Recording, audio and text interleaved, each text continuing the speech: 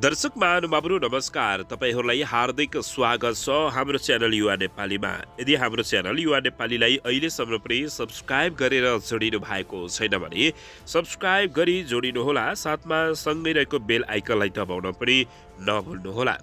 दर्शक महानुभावहरू तपाईँहरूले हामीलाई कहाँदेखि हेर्दै हुनुहुन्छ कस्तो अवस्थामा हेर्दै हुनुहुन्छ प्रतिक्रिया दिन नभुल्नुहोला आज पनि तपाईँहरूमा अत्यन्तै महत्त्वपूर्ण समाचार अपडेटका साथ उपस्थित भएका छौँ किन रवि लामी छानेमाथि नेपाली काङ्ग्रेस र नेकपा एमाले खनिएका छन् बालेन्द्र शाहलाई किन नेकपा एमालेका अध्यक्ष तथा नेकपा एमालेका सांसदहरूले देखिन सक्नु बनेका छन् यसबारे यी र यस्तैसँगै सम्बन्धित के दर्शक महानुभावहरू सरकार ढल्दैछ त ओली सरकार यसबारे पनि निकै ठुलो खबर लिएर उपस्थित भएका छौँ यस्तै खाले समाचारहरू निकै छन् त्यसैले यो भिडियोलाई अन्तिम सरसम्म हेरी एउटा लाइक गर्न पनि नभुल्नुहोला आउनुहोस् आजको विशेष खबरतर्फ लागौँ दर्शक महानुभावहरू राष्ट्रिय स्वतन्त्र पार्टीका सभापति रवि लामी छानेले चितवनमा गर्न लागेको कार्यक्रमलाई नेकपा एमाले र नेपाली काङ्ग्रेसका कार्यकर्ताहरूले बिथोलेको खुलासा भएको छ। दुई दिनदेखि आफ्नो निर्वाचन क्षेत्र चितवन दुईमा सार्वजनिक सुनवाई गर्न भन्दै पुगेका पूर्व उप प्रधान तथा गृहमन्त्री एवं राष्ट्रिय स्वतन्त्र पार्टीका सभापति रवि लामी छाने विरुद्ध उनकै निर्वाचन क्षेत्रमा उनी विरुद्ध नाराबाजी भएपछि नेकपा एमाले र नेपाली काङ्ग्रेसका कार्यकर्ताहरूले आफू विरुद्ध लागेको उनले बताएका छन्। बिहिबारदेखि चितवनमा रहेको रवि छानेले हिजो र आज सार्वजनिक सुनवाईको कार्यक्रम राखेका थिए। कार्यक्रम चलिरहँदा चितवनमा सहकारी पीडितहरूले प्रदर्शन गरेका थिए। सहकारी पीडित ठगीमा रवि लामी छाने जोडिएको र शक्तिको आडमा कारवाहीबाट भागेको भन्दै प्रदर्शनकारीहरूले नाराबाजी समेत गरेका थिए। सहकारी ठगीमा रवि लामिछाने जोडिएको र शक्तिको आडमा कारबाहीबाट भागेको भन्दै प्रदर्शनकारीहरूले नाराबाजी समेत गरेका थिए। ती नाराबाजी गर्ने नेकपा एमाले र नेपाली काङ्ग्रेसका कार्यकर्ता भएको रविको ठोकुवा छ। सहकारी बचत रकम दुरुपयोगबारे छानबिन गर्न गठित सङ्घ सांसदीय छानबिन समितिले सहकारीको रकम गोर्खा मिडियामा लैजान रविको संलग्नता नरहे तापनि गोर्खा मिडियामा आएको रकम खर्च गर्नमा प्रत्यक्ष संलग्नता रहेको ठहर गर्दै कानुन अनुसार कारवाहीको लागि सिफारिस गरे। गरेको थियो। रविका पूर्व व्यापारिक साझेदार छविलाल जोशी पन्ध्र दिनदेखि कास्की प्रहरीको हिरासतमा छन् भने रवि लामिछाने पक्राउ परेका छैनन्। राजनीतिक प्रतिशोधको आधारमा आफ्नो सभापतिलाई पक्राउ गरिए आन्दोलनमा उत्रिने राष्ट्रिय स्वतन्त्र पार्टीले चेतावनी दिएको छ। रासोपाको चेतावनीपछि सरकार पनि तत्कालका लागि रवि लामिछानेलाई पक्रिने तयारीबाट ब्याग भएको छ। सहकारी पीडितले भने कारवाहीको सिफारिस हुँदा पनि पक्राउ नगरिएको भन्दै आज पनि प्रदर्शन गरेका छन्। यद्यपि उनीहरू नेकपा एमाले र नेपाली काङ्ग्रेसका कार्यकर्ता भएको राष्ट्रिय स्वतन्त्र पार्टीको ठहर रहेको छ। रवि शनिबार पनि रवि लामिछाने विरुद्ध नर मुर्दाबादको नारा लागेपछि रवि रवि लामिछानेको सचिवालयले भने सत्ता गठबन्धनका दुई दल काङ्ग्रेस र नेकपा एमाले एमाले आफूहरूको कार्यक्रम बिथोल्ने प्रयास गरेको दावी गरेका छन्। सभापति रवि लामिसानेको सचिवालय भनेको छ कार्यक्रम सुरु हुनै लाग्दा एक हुलकाला मन्दिरमा जबरजस्ती प्रवेश गर्न खोज्दै ढुङ्गा प्रहार गरेका थिए। वास्तवमा तिनीहरू सहकारी पीडित नै होइनन्। काङ्ग्रेस र नेकपा एमालेका कार्यकर्ताहरूको कार्यकर्ताहरूको ढुङ्गा लागेर सफल गुप्ता थापा र अमित गुप्ता घाइते भएका छन्। उनीहरूको भरतपुर अस्पतालमा उपचार भइरहेको छ। ढुङ्गा प्रहार गर्ने मध्ये काङ्ग्रेस चितवनका प्रवक्ता प्रवक्ता अनमोल अधिकारी पक्राउनै परेका छन्। यसबाट पनि उनीहरू सहकारी पीडितको नाममा बिथोल्न खोज्दैछन् भन्ने पुष्टि हुन्छ। रवि लामी छानेको सचिवालयले भनेको छ। दर्शक महानुभावहरू यसअघि नेकपा नेपाली काङ्ग्रेसका नेता गगन कुमार थापाले रवि लामी छानेलाई फसाउनको लागि न्वारनदेखिको बल लगाइरहेका छन्। नेपाली काङ्ग्रेस र नेकपा एमालेका नेताहरूले पनि रवि लामी छानेलाई जेल हाल्ने षड्यन्त्र गरिरहेको बताइएको छ। यसबारे तपाईँहरूले के भन्न चाहनुहुन्छ प्रतिक्रिया दिन नभुल्नुहोला। दर्शक महानुभावहरू यता भने केपी शर्मा ओलीको दुई तिहाई माथिको सरकारमाथि प्रचण्डले टक्कर दिइरहेका छन्। रवि लामी छाने र बालेन्द्र शाहलाई बोक्न तथा सपोर्ट गर्नको लागि प्रचण्ड तम तयार रहेको खुलासा भएको छ। नेकपा एमाले काङ्ग्रेस मिले मिल मिलनले प्रतिपक्षमा पुगेका नेकपा माओवादी केन्द्रका अध्यक्ष पुष्पकमल दाहाल प्रचण्डको सक्रियता यति बेला चुलिएको छ। पार्टी सत्ता केन्द्रित हुँदा टुटेको जनमत फुर्काउनको लागि जनतामा फर्किने उद्घोष गरेका उनी पछिल्लो समय आफूलाई शक्तिमा राखेर सरकारलाई दबाव बढाउने रणनीतिमा देखिएका छन्। फलत छाया सरकारको सक्रिय बसमा अभ्यासमा देखिएका उनको उनी के कस्तो अस्त्र चाल्दैछन् त यो प्रश्न उठेको छ। नेकपा एमाले काङ्ग्रेसको अप्रत्याशित मिलनले विपक्षमा पुगेका माओवादी केन्द्रका अध्यक्ष पुष्पकमल दाहाल प्रसन्नको सक्रियता हट्टै बढेको छ। यसैको एक उदाहरण उनी अहिले बाढी पहिरो र डुबान पीडित नागरिकहरूको क्षेत्रमा पुगेर आश्वासन समेत बाँडिरहेका छन्। मङ्गलबार मात्र काठमाडौँको बल्खु पुगेर बल्खुमा पुगेर स्वयंसेवकहरूको परिचालन गरेका तथा पीडितको साथमा आफू सधैँ रहने प्रतिबद्धता जनाएका हुने त्यसपछिका दिनहरूमा पीडित भेटेको भेट्ने काममै व्यस्त रहेका छन्। गत शुक्रबार र शनिबारको भारी वर्षासँगै आएको बाढी पहिरो र डुबानका कारण देश अस्तव्यस्त भएका बेला उनी सरकारभन्दा अगाडि नै देखिएका हुन्। प्रधानमन्त्री केपी शर्मा ओली विदेश स्वयंमा रहेको र तथा कार्यवाहक सरकार अलमलमा परिरहेको बेला उनले सर्वदलीय बैठक नै आह्वान गरेका थिए। फलत यसले दबाव सिर्जना गर्दा कार्यवाहक प्रधानमन्त्री प्रकाशमान सिंहले सरकारको तर्फबाट सर्वदलीय बैठक बोलाउन बाध्य भयो भने सरकारले नै बैठक बोलाएपछि प्रचण्डले आफ्नो बैठक स्थगित गरेका थिए। यति मात्रै नभई उनले आफ्ना सांसद माधव सापकोटालाई बेलायतको भ्रमण स्थगित गरेर सिन्धुपाल्चोक खटाएका थिए। सापकोटा वर्षासँगै आएको बाढी पहिरो प्रभावितको खोज उद्धार राहतमा खटिँदा एमाले प्रमुख सचेतक महेश बर्तौला र सचिव योगेश कुमार भट्टराईसहित दलका नेताहरू एक सातादेखि बेलायत शहरमा छन्।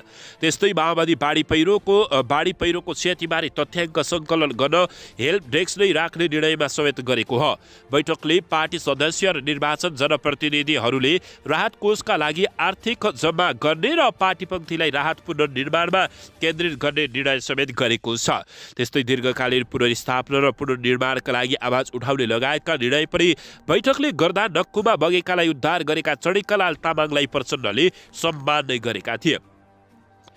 अर्थात् जहाँ जहाँ सरकार चुक्यो त्यही त्यही आफू सक्रिय भएर जनताको अघि उपस्थित देखाउने काम गरेका प्रचण्ड बाढी पहिरो पीडितहरूको घर दैलोमै पुगेका छन्। यसैबीच उनले यातायात व्यावसायिक महासङ्घ र यातायात मजदुर सङ्गठनका पदाधिकारी तथा यातायात क्षेत्रका प्रतिनिधिहरूसँग पनि छलफल गरेका छन्। राजमार्गमा पुगेका क्षतिले दसैँ मनाउन जानेहरू समस्यामा परेको र सरकारले प्रभावकारी कदम चाल्न नसकेको अपेक्षाका बीच उनले त्यसमा समेत नागरिकहरूको समस्याप्रति प्रति आफू सचेत रहेको पनि सन्देश दिन भ्याएका छन्। दर्शक पनि यति मात्रै होइन प्रचण्ड यस अघिबाटै अब नागरिकमा जानै पर्ने बुझाइमा पुगिसकेका थिए। केही समय पार्टीभित्रै घेराबन्दीमा परेका उनी सामाजिक सञ्जालदेखि सहयोगी शक्ति प्रयोग सम्बन्धमा लाग्दै आएका छन्। यही कारण आत्मविश्वास देखिएका उनले आफू प्रधानमन्त्री हुँदा माथिको व्यक्तित्व भएको दावी नै गरे। यसैबीच उनले उचाल्न सकिने मुद्दाहरूमा समेत प्रयोग गरिरहेको बुझिएको छ। दर्शकबिर यही विपत्तिमा पनि कार्यवाहक सरकार चुक्दा त्यसको भार काङ्ग्रेसले बोक्नुपर्नेमा प्रचण्ड काङ्ग्रेससँगै नरम छन् भने सरकार पूर्ण रूपमा विफल विफल भएको निष्कर्ष समेत प्रचण्डले निकालेका छन्। त्यस्तै पहिचानवादी राजावादीदेखि पछिल्लो समय युवामाझ लोकप्रिय व्यक्तित्वहरूलाई बोक्ने रणनीतिमा उनी देखिएका छन्। यही कारण नेकपा एमाले काठमाडौँ महानगरपालिकाका प्रमुख मेयर बालेन्द्र शाह बालेनलाई प्रचण्ड प्रचण्डले बोकेको भन्दै लगाएको आरोप समेत फाइदा देखेका फाइदा देखेका उनी रासपासँग त उपसभामुखदेखि रवि लामिछानेमाथि कारवाही गर्ने सरकारको प्रयास विरुद्ध एक ठाउँमा उभिदिएका हुन्। त्यस्तै समाजवादी मोर्चालाई सक्रिय पार्नेदेखि सरकारका कमी कमजोरीलाई जनताले देख्ने गरी दृश्यमा ल्याइदिने रणनीति उनी देखाइदिएका छन्। जसले ओली सरकारको भने टाउको दुखाइ भएको छ। हुन त प्रतिपक्षमा रहेको पार्टीले शक्ति आर्जन गर्न खोज्नु नौलो विषय होइन। त्यसमा नेकपा एमाले काङ्ग्रेसको भाषामा लगभग विघटनको बाटोमा रहेको माओवादी त झन् गर या मरको अवस्थामा छ। यसको अर्थ प्रचण्डसँग उपलब्ध रणनीतिको उच्चतम प्रयोगको विप विकल्प नरहँदा आफ्नै दुई तिहाई भारी परेको सरकार उनका लागि अवसर बन्दै गएको छ। जसलाई छाया सरकारको कसरतभन्दा माथि पुर्याएर दायित्वबोधको भाष्य निर्माण गर्नु उनको अर्को चतुर्याई हो भने बाध्यतावश बनेको यो गठबन्धन तर्सिनुमा संयोग मात्र मान्न सकिने अवस्था देखिँदैन। दर्शक महानुभावहरू प्रचण्डले देखाएको यो सक्रियताबारे तपाईँहरूले के भन्नुहुन्छ कमेन्ट बक्समा लेख्न नभुल्नुहोला। दर्शक पनि यसैबीच यथा राष्ट्रिय प्रजातन्त्र पार्टीका प्रवक्ता तथा प्रमुख सचेतक ज्ञानेन्द्र साईले दसैँ र तिहार सकिए लगत्तै अहिलेको व्यवस्था फाल्नुपर्ने आवश्यकता उलाएको बताएका छन्।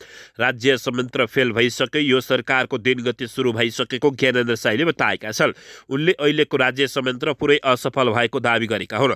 शनिबार रिपोर्टर्स क्लब नेपालले आयोजना गरेको कार्यक्रममा बोल्दै उनले सरकारको उपस्थिति नागरिकको विपत्तिमा परेर सयौँको सङ्ख्यामा जान गुमाउँदा पनि नदेखिएको र यो सरकारलाई पाल्नुपर्ने कुनै कारण नै नभएको टिप्पणी गरेका छन्। उनले नागरिकले के को लागि कर तिर्ने भन्दै प्रश्न उठाएका छन्। क्लबका सभापति ऋषि धमलाको सभापतित्वमा आयोजित कार्यक्रममा बोल्दै उनले अहिले सरकार र सत्ता पक्षका नेताहरू जनताको घर दैलोमा जान त परै जाओस् सार्वजनिक कार्यक्रममा समेत भाग लिन डराउन थालेको बताएका छन्। उनले भने सरकार पक्षका मान्छे जनता कहाँ जान डराउँथे तर अब सार्वजनिक कार्यक्रममा पनि आउन डराए। यिनीहरू अहिले पत्रकारदेखि भाग्न थाले। जनतादेखि भाग्ने देशको प्रधानमन्त्री अमेरिकामा जाँदा कार्यक्रम स्थगन गर्ने वास्तवमा यिनीहरूको पालो अब भाग्नकै लागि हो? यो सरकारको अब दिनगन्ती सुरु भइसक्यो। गतिलो काम गरेको भाइ यसरी भाग्नु पर्दैनथ्यो ज्ञानेन्द्र साईले बताएका छन्। ज्ञानेन्द्र साईले धादिङको झ्याप्ले खुलाको पहिरोले पैँतिसजना नागरिकले ज्यान गुमाउँदा राज्य जिम्मेवार रहेको आरोप लगाए जिम्मेवार रहेको आरोप लगाएका छन्। उनले भने मौसम पूर्वानुमान महासुखाले तिन दिन अघि नै अलर्ट गरिरहेको थियो तर राज्यको उपस्थिति देखिएर नेपालको भएको यो घटना नेपालको भएको यो घटना यदि युरोप अमेरिका वा अरबमा भएको हुन्थ्यो भने आज ती जिल्लाका सिडिओ एसपीहरू ज्यान मार्ने मुद्दा उद्योगमा मुद्दा चल्थ्यो। फाँसी दिने देशमा त तिनीहरूलाई फाँसी दिइन् गरिन्थ्यो साइली मुलुकमा सयौँको सङ्ख्यामा नागरिकहरूले ज्यान गुमाएको अवस्थामा सरकारले आह्वान गरेको सर्वदलीय बैठकमा कार्यवाहक प्रधानमन्त्री प्रकाश मान सिंहले देशको मुख्य सचिवलाई फोन गर्दा मुख्य सचिवले फोन नै काटिदिनु भयो सर्वदलीय बैठकमा मुख्य सचिव हुनुहुन्थ्यो। हुनुहुन्थ्यो फोन गर्दा पनि काटिदिनु भयो प्रधानमन्त्रीलाई देशका आइजिपीहरूले भेट्नु मान्दैनन्। उनीहरूले भोलि भेटौँला भन्छन्। यो भनेको स्टेट फेलियर भएकोले ताएका छन्। ललितपुरको नक्कुमा नागरिकहरूले घौटौँ घन्टौँसम्म ज्यान बचाउनको लागि याचना गर्दा पनि सरकारको उपस्थिति नदेखिएकोले बताएका छन्। त्यसैले अब यो सरकार ढल्ले पक्का भएको बताएका हुन्। दर्शकले यता राष्ट्रिय स्वतन्त्र पार्टीका सभापति एवं चितवन क्षेत्र नम्बर तिनका प्रतिनिधि सभा सदस्य रवि लामिछाने विरुद्ध प्रदर्शन गर्ने सहकारी पीडितहरूलाई प्रहरीले नियन्त्रणमा लिएको हो। शनिबार चितवनमा आयोजित एक कार्यक्रममा सहभागी हुँदै गर्दा सहकारी पीडितहरूले प्रदर्शन गरेका थिए। उक्त कार्यक्रममा चितवन सहारा सहकारीका पीडितहरू ब्यानरसहित नारा लगाउँदै कार्यक्रम स्थल आउने क्रममा नारायणगढको ल्यान्स चोकमा प्रहरीले तितर पारेको थियो। त्यसपछि पनि कार्यक्रम स्थल पुगेका सहकारी पीडितहरू कार्यक्रम स्थल बाहिरबाट प्रहरीले नियन्त्रणमा लिएको हो। सहकारी पीडितहरूले भने आफूहरूले शान्तिपूर्ण प्रदर्शन र ज्ञापन पत्र बुझाउन खोज्दा कार्यक्रम स्थलबाटै आफूहरूमाथि ढुङ्गामुढा भएको दावी गरेका छन्। सहारा सहकारी प्रेत सङ्घर्ष समितिका संयोजक शालिकराम दुवाडीले आफ्नो समस्याका बारेमा रवि लामिछानेलाई जानकारी गराउन खोज्दा उल्टै हस्तक्षेप गरिएको जिक्र गरेका छन्। सहारा सहकारीबाट गोर्खा मिडियामा गएको पैँसठी करोड के हो? पन्ध्र प्रतिशतको त पाए पनि भागीदार हुने नहुने हो। विषयमा कुरा गर्न आउँदा भिर भित्रबाट एक्कासी पीडितमाथि डुङ्गा र बोतल प्रहार भएकोले बताएका छन्। यद्यपि उता रवि लामिछानेले भने नेपाली काङ्ग्रेसका नेताहरूले यस्तो गरेको बताएका छन्। दर्शक पनि यसैबीच यता शक्तिशाली सरकारले विपदमा क्षमता प्रदर्शन नगर्न नसकेको नेकपा एमालेका नेता भीम रावलले बताएका छन्। रावलले विपदका समयमा सरकारको प्रभावकारी उपस्थित हुन नसकेको बताएका हुन्।